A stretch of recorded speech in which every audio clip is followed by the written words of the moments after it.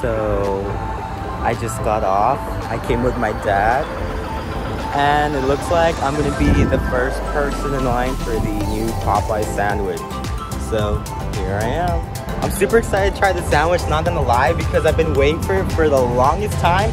Uh, there was a time when a coworker of mine posted that her family got like a whole bag of them, and I came the very next day and they were sold out. They said they sold out like within a day, but I've only tried bits and pieces of it from other people's sandwiches. But is the first time I'm actually gonna have my own, and I am super excited. I freaking woke up. I kind of straightened my hair. I mean, it's falling apart, but I mean, I try it on the quicks, brush my teeth. I had showered last night, so I just put on my clothes really quick, and I am here to get this freaking sandwich. So as you can see, there's cars already starting to line up for the drive-through, but your boy's the first in line. In typical me fashion, I do have a coupon for a free small beverage with a purchase of a chicken sandwich. So there's actually a really long line right now. You can kind of see the line goes all the way to the street on Boca Chica and there's still more people showing up to get this sandwich. Alright, so here I am inside Popeyes. It's about time to try this new chicken sandwich. I'm super excited. I can't wait. I'm gonna order both. So as you can see, the sandwich is back.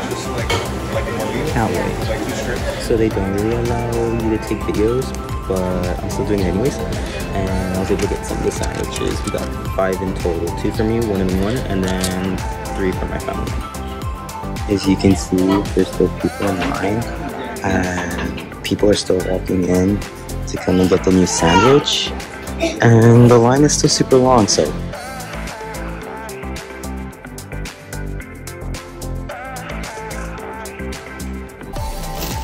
So it's finally all here.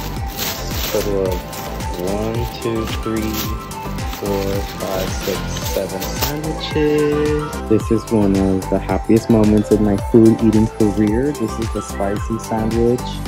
It's really good with the spicy sauce. I got mine without pickles, and then the classic sandwich also without pickles, so you can still sauce is different. Spicy sandwich.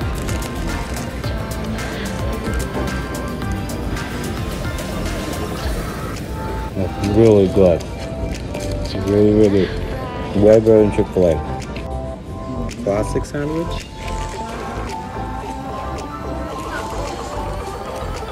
Mm.